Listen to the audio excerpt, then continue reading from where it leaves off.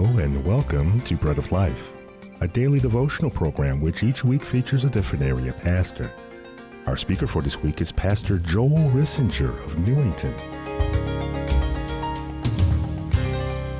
Welcome to Bread of Life.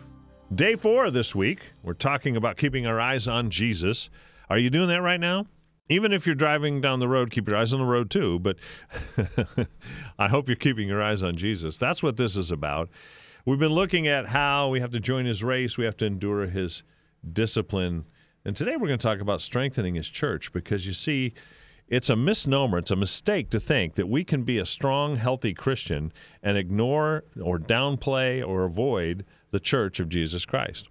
I mean, she's his bride, he loves her. I'm recording right now, and my lovely bride is in the studio with me. And I think of her when I th- read this or think about the church. I, I do because I remember our wedding day and how amazing it was to see her coming down the aisle. I know how overwhelmed I was. And I think, is Jesus any less so with his church? His bride that he's going to present to himself as spotless and wrinkle free, and he's going to look at her with such joy and have a big celebration party, as Revelation describes, a, a banquet, a, a, a wedding supper. I mean, if he feels that way about her, shouldn't we as well be part of her and part of building her up? I think so. And we have a mutual responsibility for one another as part of the body of Christ. And that's what we're going to read about here. Hebrews 12, verses 12 through 17 today. Let me read those. It says, Therefore, strengthen the hands which hang down and the feeble knees and make straight paths for your feet, so that what is lame may not be dislocated, but rather be healed. Pursue peace with all people and holiness, without which no one will see the Lord. Looking carefully lest anyone fall short of the grace of God, lest any root of bitterness springing up may cause trouble, and by this many become defiled. Lest there be any fornicator or profane person like Esau, who for one morsel of food sold his birthright.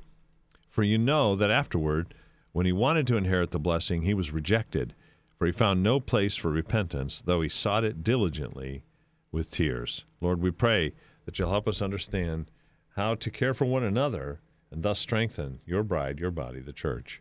In Jesus' name, amen. There's a joke about the $1 bill talking to the $100 bill, and the $1 bill says, Hey, man, how's it going? Where you been? The $100 bill says, Oh, I've been to five star hotels and restaurants and all around the world. It's been amazing. How about you? And the one dollar bill says, "Well, I've been to the, you know, the Episcopal Church, the Baptist Church, uh, Presbyterian Church, you know, because we tend to not give very generously in America, do we? and it's not about money. This don't tune out and hang up here or whatever. this is this message is not just about money, but the the value we put on the church is often reflected. Well, as Jesus said, where your treasure is, there your heart is. We need to strengthen the body of Christ, the church, and I think this passage challenges us with some ways to do it. Number one, we need to look for those who need support.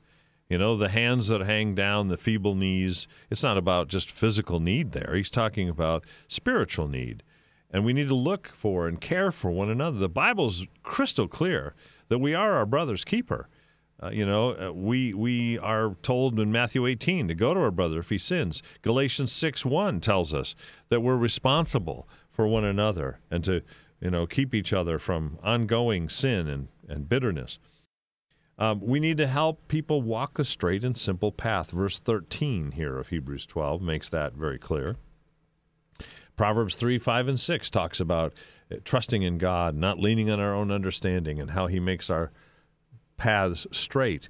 We need to be helping others and letting others help us too to continue to follow Jesus and walk the straight and narrow, as we like to say.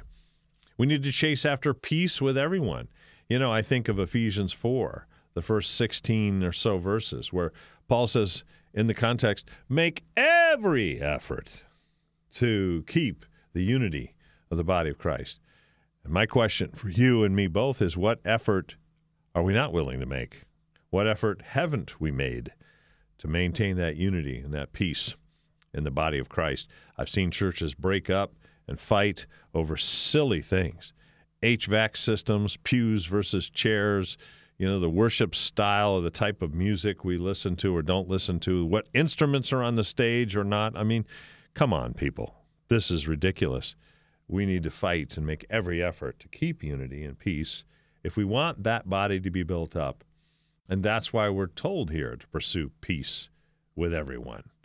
And yes, become our brother's keeper, not in a nitpicky way, but in a way of really showing concern that we would grow in humility too, recognizing our own need and being willing to confess it.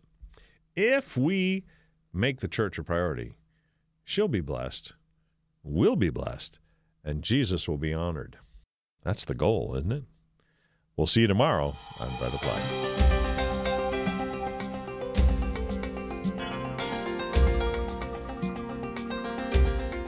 You've been listening to Pastor Joel Rissinger of Newington, and this has been Bread of Life, a program to encourage you from God's Word.